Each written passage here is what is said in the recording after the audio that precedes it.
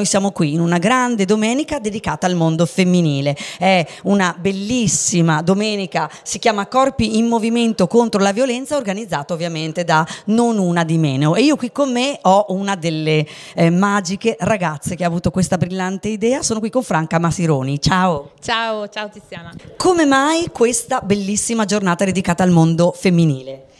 Abbiamo organizzato questa giornata perché il 25 novembre è la giornata contro i femminicidi e noi abbiamo pensato di eh, diciamo così, affrontare questo tema in, con un momento di convivialità, un momento mh, impegnato e un momento allegro perché pensiamo che questi queste brutte cose che tutti i giorni succedono possono essere eh, affrontate e vinte solamente con la collaborazione di uomini e donne e con uno spirito anche di un battagliero, uno, uno spirito di lotta che eh, ci permetta ogni giorno di fare qualche passo avanti perché noi pensiamo che eh, l'unico modo per eh, combattere la violenza, il patriarcato che appunto eh, ci avvolge un po' tutti in questo momento, sia quello di informare, quindi di preparare, di educare eh, i bambini, di educare i giovani, eh, le donne e gli uomini per appunto capire meglio qual è il problema e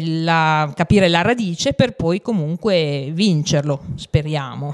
Sì. Chi è non una di meno? Allora, non una di meno ti parlo di Conselice perché comunque non una di meno è un gruppo che eh, opera a livello internazionale. Nella nostra piccola realtà abbiamo pensato di fare appunto questa, questo piccolo gruppo per, um, perché ci siamo chieste se eh, nella nostra società avesse ancora un senso definirsi femministe e fare delle lotte di tipo femministe.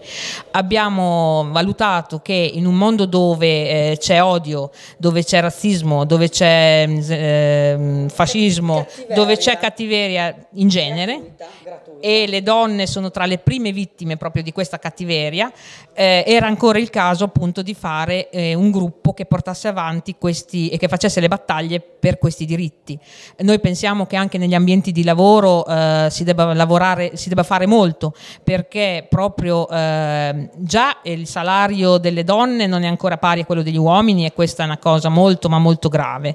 Inoltre all'interno appunto della, del rapporto tra eh, datore di lavoro e dipendente spesso ci sono delle violenze psicologiche e anche fisiche che eh, in accordo con le parti sociali sono da, da guardare e da controllare. Quindi noi sul nostro territorio, stiamo facendo un lavoro anche mh, con le scuole, con i bambini, facciamo dei lavori con la biblioteca, eh, facciamo presentazioni di libri, abbiamo fatto mostra fotografica, eh, facciamo mh, ad esempio, questa, questo è il primo anno che abbiamo pensato a questo tipo di iniziativa, però già per l'8 marzo ne abbiamo fatto, ne abbiamo fatto altre e abbiamo in mente tanti progetti, abbiamo fatto anche un, un progetto che verrà presentato all'Unione dei Comuni e che dopo mia, la mia amica vi illustrerà meglio.